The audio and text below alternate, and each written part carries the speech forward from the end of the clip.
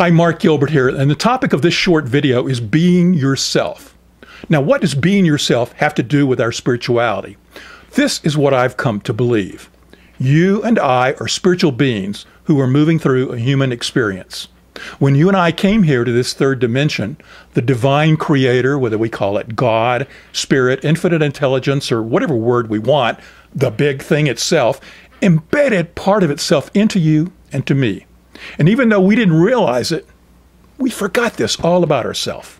So, although you're not all of God and I'm not all of God, all of the characteristics of God are within us. You are God living and expressing as you, and I am God living and expressing as me. One of the characteristics of the big thing itself that's in you is a calling to be creative, to express life uniquely as you. There's always been this still small voice in you calling you to express your special gifts and talents.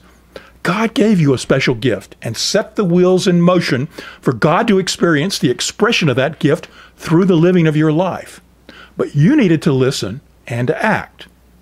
However, for many of us, when we were young, we were frequently taught to ignore that voice.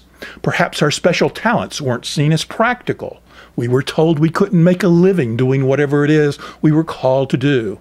Or we were told that we were not good enough, or not worthy, or not talented enough, or some other statement to limit us.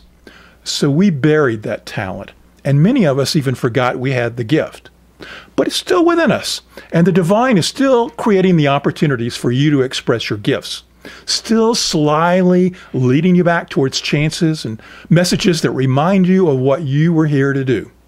And when you finally follow your heart, and express your calling, you experience life more fully.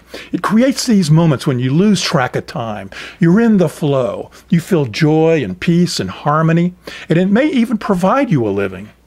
But what is critical is that you know you're doing what you were put here to do.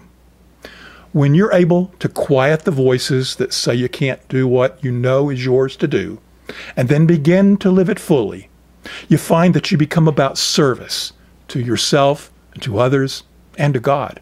And when you do this, you are truly being yourself.